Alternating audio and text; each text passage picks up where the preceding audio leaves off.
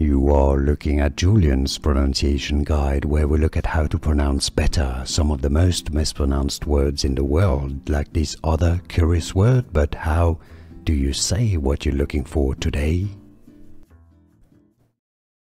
Enzyme linked, immunosorbent, assay,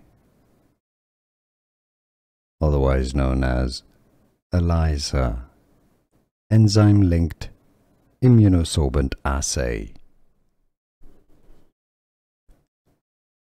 Enzyme-linked immunosorbent assay,